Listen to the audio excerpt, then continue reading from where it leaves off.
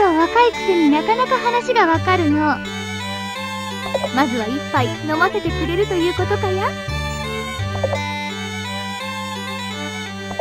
んじゃぬか喜びさせおって。つまらんオスじゃな。わっちは向こうで待っておるぞ。はい。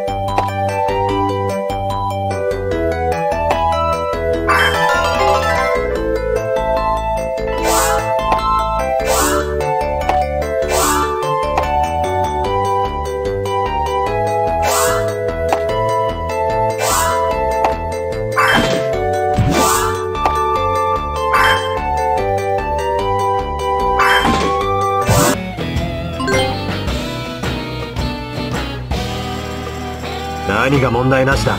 ありまくりだ。なんで俺たちが芸能人の出待ちの警備みたいなことをしなきゃならないんです？いやー毎夕毎夕ご苦労様。だけどねガーディアンの任務は君たちにしか任せられない。